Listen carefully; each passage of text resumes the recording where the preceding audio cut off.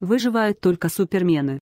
23 января 2019 года военно-промышленный курьер выживают только супермены. Су-34.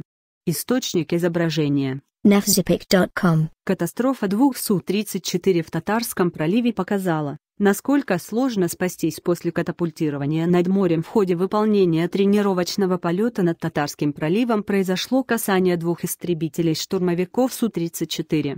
Экипажи катапультировались, одного человека им оказался штурману удалось поднять на борт рыболовецкого судна живым, он оперативно доставлен в госпиталь, угрозы его жизни нет. Двое летчик и штурман обнаружены на спасательных плотах без признаков жизни. Еще одного летчика найти не удалось, обнаружен пустой спасательный плот. О причинах катастрофы до обнародования результатов работы комиссии говорить бессмысленно, для этого нет фактических данных.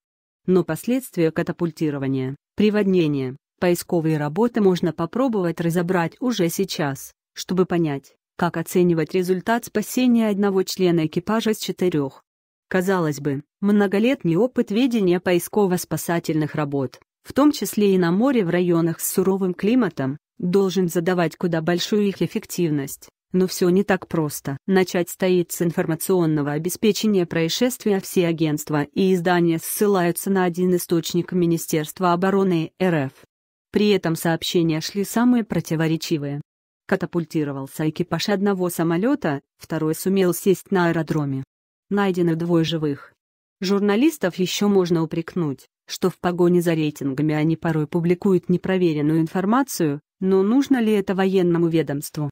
Кто проводил подобные эксперименты в Джубге, рассказывает, что залезание на плоть требует изрядной сноровки, как выясняется. В тот день полета выполняли четыре пары Су-34. Один вернулся из-за отказа двигателя, что породило сообщение, будто бы катапультировались над морем лишь двое. Итак, что должно было происходить после столкновения и принятия решения на катапультирование? Не зная, насколько сильным было касание и какие повреждения могли получить самолеты, какие травмы члены экипажей, нельзя быть уверенным в том, что покидание самолета происходило штатно. Тем более, как говорят специалисты, катапультирование летчиков, сидящих рядом, гораздо сложнее и опаснее, чем при тандемной схеме, и весьма вероятно, что при срабатывании катапультного кресла одного из членов экипажа второй мог получить травмы. Во всяком случае для подобных опасений, как считают знающие люди, основания есть. Катапультное кресло оснащено средствами спасения, они соединены специальным фалом, который летчик должен пристегнуть к своей парашютной системе. В противном случае он при покидании самолета останется без аварийного радиомаяка, спасательного плотика и наза видимо, у одного из четверых было именно так. Перед полетами над холодным морем экипажи надевают ВМСК-4 высотный морской спасательный костюм. По сути это сухой гидрокостюм с поддетой под него теплой экипировкой. Пользовавшиеся им говорят, что штука эта довольно противная, и летчики всячески стараются минимизировать неудобства, в частности ослабить резиновые жгуты, стягивающие герметизирующие манжеты. ВМСК имеет три вентиляционных клапана, которые летчик обязан закрыть во время спуска на парашюте, при подготовке к приводнению.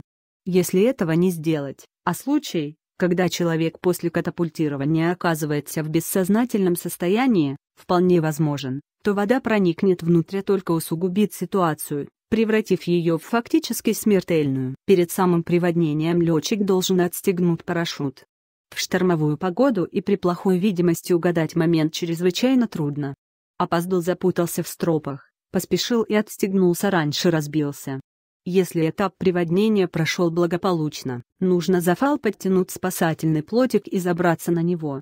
Те, кто проводил подобные эксперименты в джибге в 20-градусной воде, рассказывают, залезание на плот требует изрядной физической сноровки.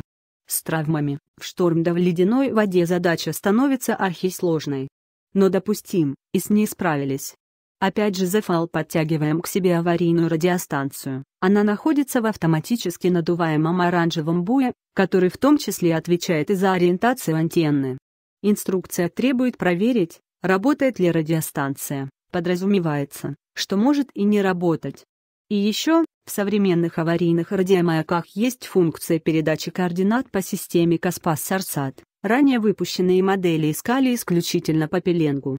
И если в одном районе на одной частоте заработают сразу четыре маяка, радиокомпас просто сойдет с ума. За укладку спасательного снаряжения в катапультное кресло и за постоянную проверку его годности и исправности отвечает специальный человек из ПСС, без его подписи в формуляре инженер эскадрильи не вправе допустить машину к полету. Наверняка все подписи есть. Осталось узнать, были ли за ними реальные проверки в требуемые сроки.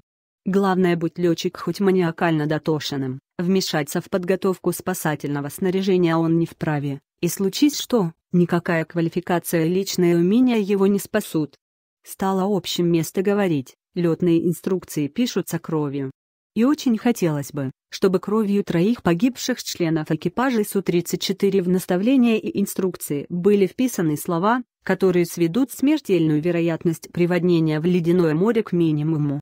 Продолжение темы в статье «Спасение по наводке». Арсений Гришин опубликовано в газете «Военно-промышленный курьер» в выпуске номер 2, 765, за 22 января 2019 года 22 января 2019 года. Права на данный материал принадлежат военно-промышленный курьер. Материал размещен правообладателем в открытом доступе и оригинал публикации